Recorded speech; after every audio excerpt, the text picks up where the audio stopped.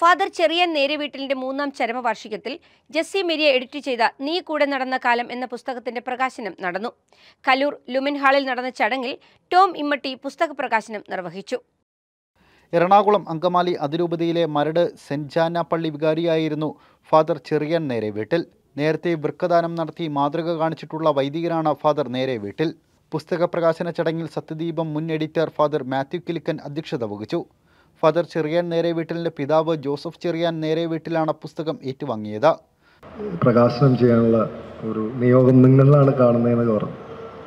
ശരിക്കും പറഞ്ഞാൽ ചെറിയാച്ചനെ പറ്റി ഞാൻ നിങ്ങൾ പറഞ്ഞിട്ടുള്ള അറിവ് മാത്രമേ എനിക്കുള്ളൂ. അതിന് മുന്നേ ഒന്ന് രണ്ട് സ്ഥലത്ത് കഴിഞ്ഞ പുസ്തക പ്രകാശനത്തിനിടയിൽ മേം സംസാരിക്കുകയുണ്ടായി.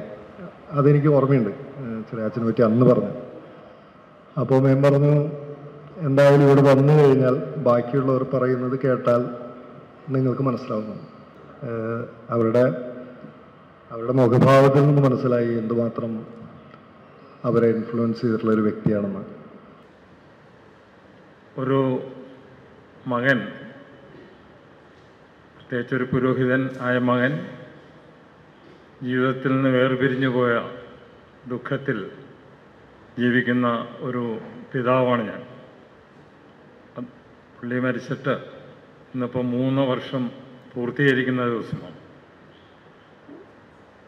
ദുഃഖം മരണം മൂലം ദുഃഖമുണ്ടെങ്കിലും ചെറിയാച്ചൻ എന്ന ആ പുരോഹിതൻ ആയ മകൻ ജനങ്ങളുടെ ഹൃദയത്തിൽ വളരെ സ്വാധീനം ചെലുത്തുന്ന ചെലുത്തിയിരുന്ന ഒരു പുരോഹിതനാണ് എന്ന കാര്യത്തിൽ വളരെയധികം ചാരിതാർത്ഥ്യമുണ്ട് സന്തോഷവുമുണ്ട്.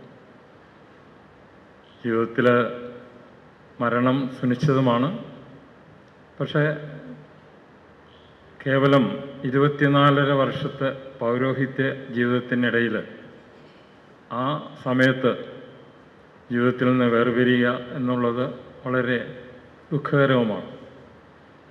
കാരണം ഒരു പുരോഹിതനെ സംബന്ധിച്ചിടത്തോളം ഇരുപത്തിനാലര വർഷം കേവലം ഹ്രസ്വകാലമാണ് ഫാദർ ആനന്ദ് മണ്ണാളിൽ ഷിബു അച്ചാണ്ടി അഡ്വക്കേറ്റ് ലിറ്റോ പാലത്തിങ്കൾ സിബു വല്ലൂരാൻ അഭിലാഷ് തുടങ്ങിയവർ പ്രസംഗിച്ചു.